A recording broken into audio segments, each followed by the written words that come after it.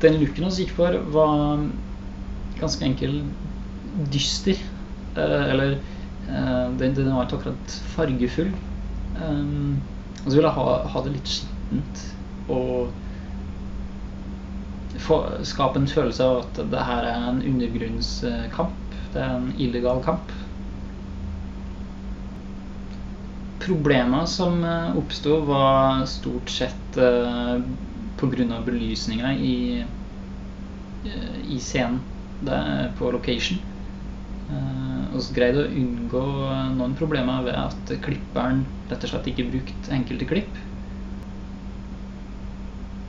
Når man skal bestemme seg for en look, som i f.eks. David versus Goliat, så uh, må man identifisere hva handlinga går ut på, eller hvilken atmosfære scenen er satt i.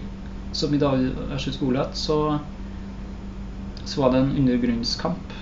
Eh, det var på et litt sånt skittent sted. Det var egentlig ingen scenografi som eh, bød på at det skulle være mye fargebruk.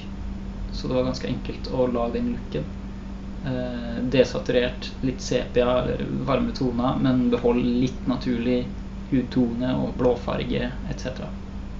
Stort sett så fikk jeg materiellet. Eh, jeg fikk frie tøyler, og jeg begynte å vri litt på, på knattene. Og um, prøvde meg fram. Etter hvert så kom jeg fram til en uh, Først en ganske myk look. Og så var fotografen innom og syntes at wow, det her så kult ut. Det var ganske annerledes enn det så ut som originalt. Deretter så var regi innom og sa at jeg har litt lyst på større kontraster, eller hardere kontraster. Ok, da skrur jeg bare litt mer, og så prøver jeg å gjøre han fornøyd.